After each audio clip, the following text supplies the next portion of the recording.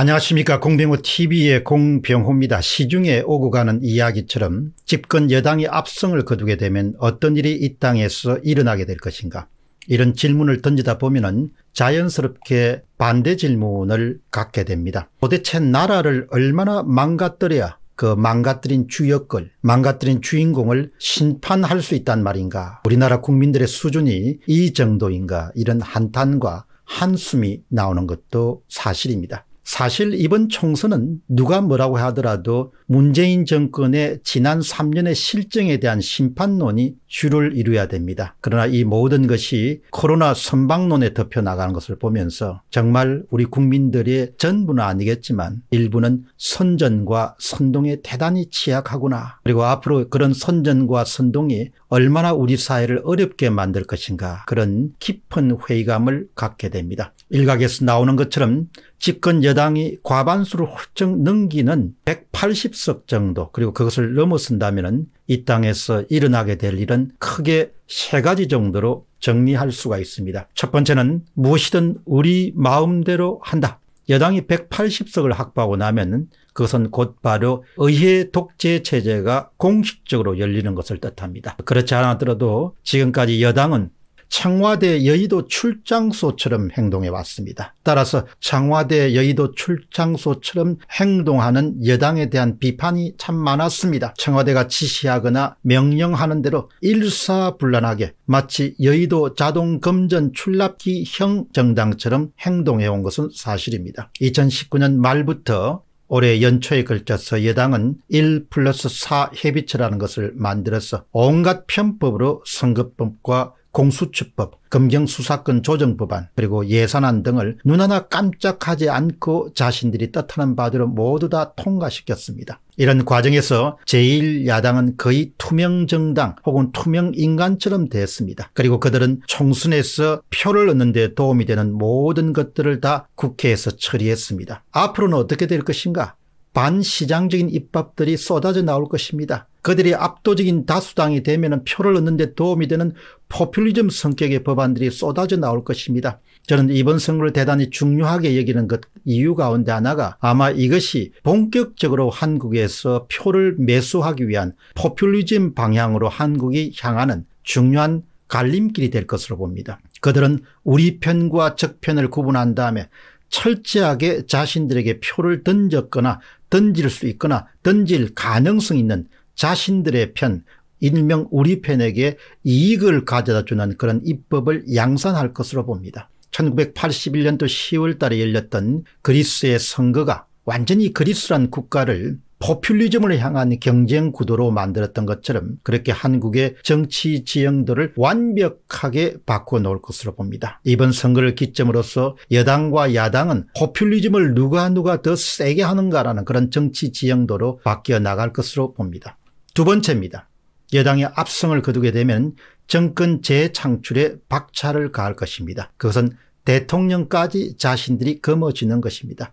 세상 사람들은 지금 인기를 끌고 있는 이낙연 후보가 차기 더불어민주당의 대권 후보가 될 것으로 보지 않습니다. 마찬가지로 이재명 경기도지사도 대권 후보로 간주하지 않습니다. 마찬가지로 박원순 서울시장도 대권 후보로 간주하지 않습니다. 운동권 출신들은 구조적으로 그들이 젊은 날 그래왔듯이 유독 출신 성분을 중시합니다. 출신 성분을 중시합니다. 그들은 공수처를 동원해서 조국 전 법무부 장관을 무죄 만들기를 완성시킬 것으로 봅니다. 그 다음에는 조국 전 법무부 장관 대통령 만들기 프로젝트를 가동시킬 것으로 봅니다. 그 확률은 아주 높습니다. 그리고 그 과정에서 철두철미하게 윤석열 검찰총장을 제거시킬 것으로 봅니다. 그동안 이 땅에서 일어난 일을 보면 설마 그런 일이 일어날 수 있겠느냐 이런 것들은 대부분 성사되었습니다. 상식이나 이성으로 밀어볼 때 절대로 그런 일이 일어날 수 없다 그런 것들은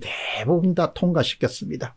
그들의 상식과 이 땅에서 온전한 생각을 가진 사람들의 상식 사이에는 금성과 화성만큼의 차이가 큽니다. 중앙일보의 전영기 칼럼니스트는 4월 13일 날 자신의 칼럼에서 이렇게 주장합니다. 정치적으로 볼 때 4.15 총선은 조국 대통령 만들기가 시작된 무대다. 드라마는 2년 뒤에 대선에서 마무리될 텐데 정치 상황에 따라서는 윤석열이 그 무대에 등장할 수도 있다. 저는 윤석열 대통령 가능성에 대한 것을 좀 높게 봤습니다. 그러나 그것은 바로 공수처가 만들기 이전의 가설이었습니다. 이제 올해 7월부터 공수처가 드디어 본격적으로 가동됩니다. 저는 윤석열의 무대 등장에 대해서는 대단히 회의적이고 유보적입니다. 7월 공수처가 가동되기 시작하면 조국을 살리기 위해서 반대편에 있는 윤석열 총장은 철저하게 제거될 것으로 봅니다. 제거하지 않으면 조국을 살릴 수가 없기 때문입니다. 그들에게는 사실이나 진실은 중요하지 않습니다. 만들어낸 사실은 진짜 사실보다 더 사실처럼 보이게 만드는 선전할 수 있는 선동할 수 있는 기술과 재주를 갖고 있기 때문입니다. 사실을 만들어낼 수 있는 겁니다. 진실을 만들어낼 수 있는 겁니다. 제조할 수 있다는 겁니다. 조국을 살리기 위해서는 윤석열은 철두철미하게 제거 대상이 될 수밖에 없을 겁니다. 따라서 7월달 공수처는 본격적으로 윤석열 제거작전을 내놓고 시작할 것으로 봅니다. 이미 그들은 정치 권력을 다 장악했습니다. 행정부와 그들의 계획대로 4.15 총선에서 압승을 거두게 된다면 아주 위험한 나라가 되는 겁니다. 세 번째 는 결국 개헌으로 몰고 갈 것입니다. 이 나라를.